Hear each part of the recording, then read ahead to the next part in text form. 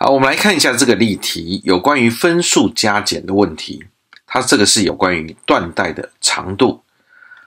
题目说阿花有一条缎带，先用全长的八分之三来包装礼物，再用全长的七分之一做一朵缎带花，剩下的缎带长度是原来的几分之几？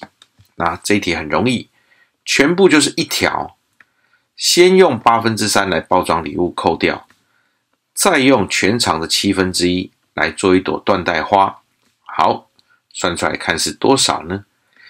把这个八跟七通分，分母是用最小公倍数是五十六，所以把一改成五十六分之五十六，减掉八变成五十六乘七倍，所以分子也乘七倍，七三二十一，减掉七变成五十六乘八倍，分子也乘八倍。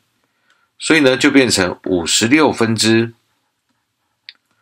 五十六减二十一减八，算出来的答案是五十六分之二十七。五十六分之二十七可不可以约分呢？没办法约分，所以这一题的答案就是剩剩下的长度是原来的五十六分之二十七。